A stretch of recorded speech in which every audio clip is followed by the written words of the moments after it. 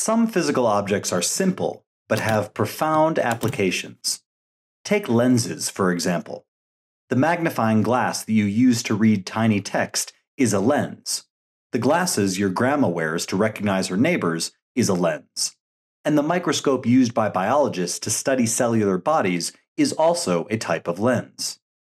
If you casually observe a lens, you may say that in a way, it distorts the view of things behind it. In this video, we're going to learn about a very special kind of lens, a lens that is helping us to discover new galaxies and see what is otherwise unseeable in the universe. It is a lens born out from one of the fundamental forces of nature, gravity.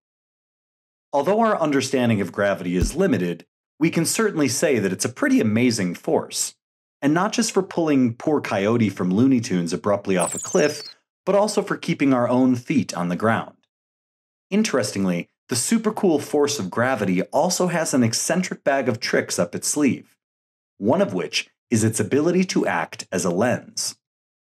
Gravitational lensing occurs when a huge amount of matter, like a star, galaxy, or a cluster of galaxies, creates a powerful gravitational field around it, strong enough to bend light coming from distant galaxies behind them.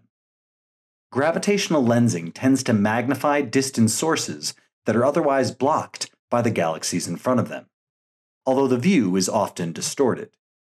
In a way, gravitational lensing is akin to peering through a gigantic telescope. The bending of light in the vicinity of a massive body may sound like a surreal idea, but at the heart of it is Einstein's theory of relativity.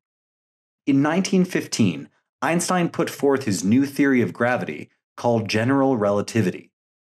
Einstein suggested that matter distorts the fabric of space and time around it.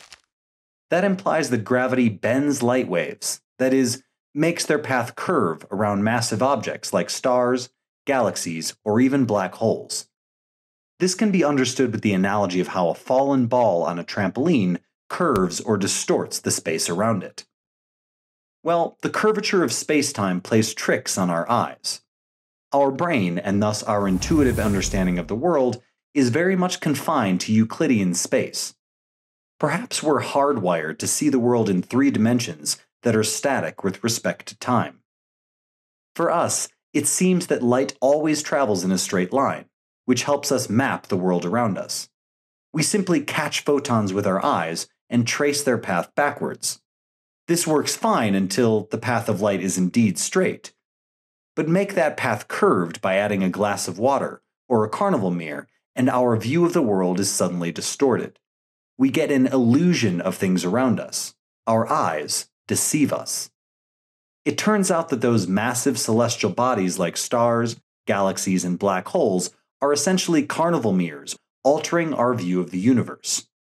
Fortunately, enlightened with the knowledge of general relativity and optical physics, we can leverage this light and mind bending phenomenon to discover galaxies and other celestial bodies that lie oh. beyond the realm of discovery with our present day technology.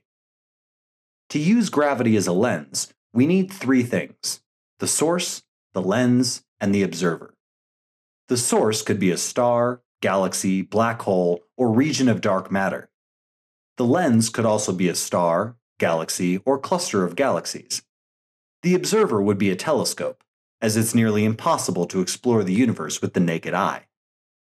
Now, if the source, lens, and observer are perfectly aligned, and the lens and source are spherically symmetric, we will see a beautiful phenomenon called the Einstein ring. An Einstein ring was first observed in 1998 through the Hubble telescope. The light in this observation was coming from a dark dwarf satellite galaxy the light was bent equally in all directions by an ancient galaxy acting as a lens, leading to the formation of a smeared out ring, confirming Einstein's prediction from 80 years earlier.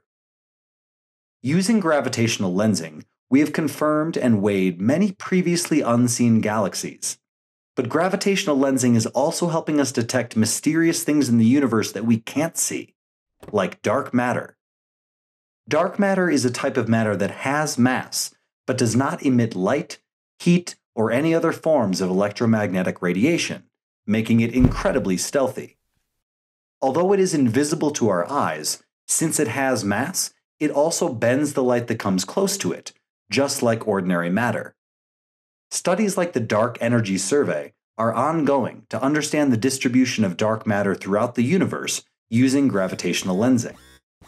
Perhaps the DES study will be able to come up with a precise map of matter in the universe, including the huge amount of mysterious dark matter.